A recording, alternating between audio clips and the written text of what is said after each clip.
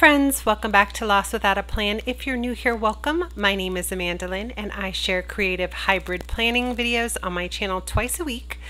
Today we're going to go over my October sticker haul. I have a whole bunch of kits here, some with Halloween vibes and some with some fall vibes, and so let's get into it. First up we have Planner Kate's 546. This one was called Spooky. It has some light blue, navy blue, black, and orange. As you can see, there's some bats and some jack-o'-lanterns and some pretty stripes and polka dots. And then the date headers here are, the brush strips are in black. And that is all I have from Planner Kate. Next up, we have Sticker Guru. And this was from the 22 advent calendar. It was called Moonlight, and there are a ton of sticker sheets here because it was with the advent calendar. So I have the journaling page, I have the trim, the banners, the deco, the toppers, the top and bottom washi. This one's going to be for my monthly kit, so I'm thinking I'll use it these pieces for my headers and this for the sidebar. We also have tons of functional boxes. I probably won't use those this time, but you never know. And then we have page two of the journaling kit and an additional page, plus some really fun full boxes here with some Halloween vibes. So that is all that I have from Sticker Guru. And so we have our two monthlies here, and then we're going to get into our weekly plans. This right here is called Journaling Scarlett from Cactus Paper Co. Um, I love this pumpkin here. This is why I ended up purchasing it.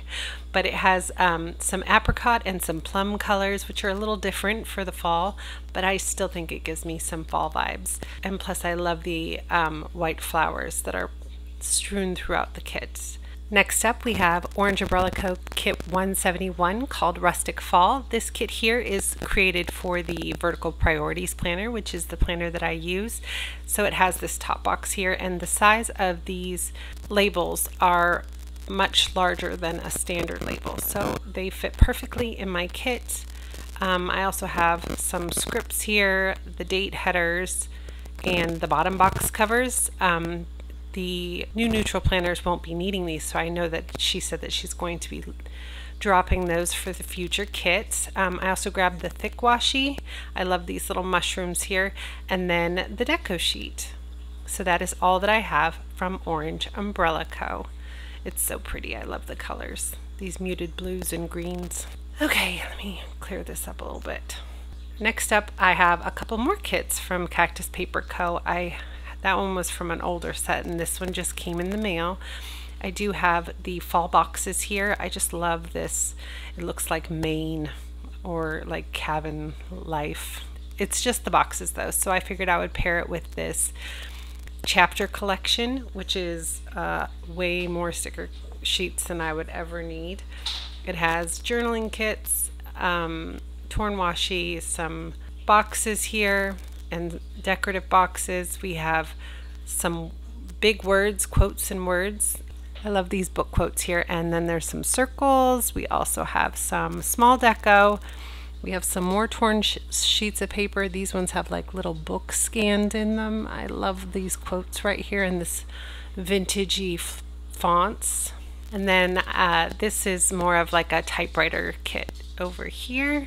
We also have this page here, which is more typewriter and book library section. And then there's the giant echo, which is not something I plan on using because where on earth would I put a giant lantern? But I'll figure it out.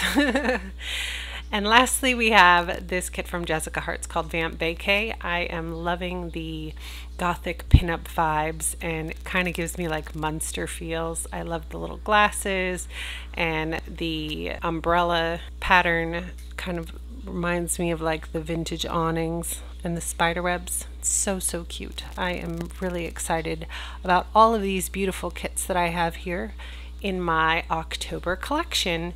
So I'm really looking forward to planning with you all month long with these lovely kits. So be sure to like, subscribe, and ring the bell and you'll be notified of my next video. Have a wonderful day and I will catch you next time. Bye for now.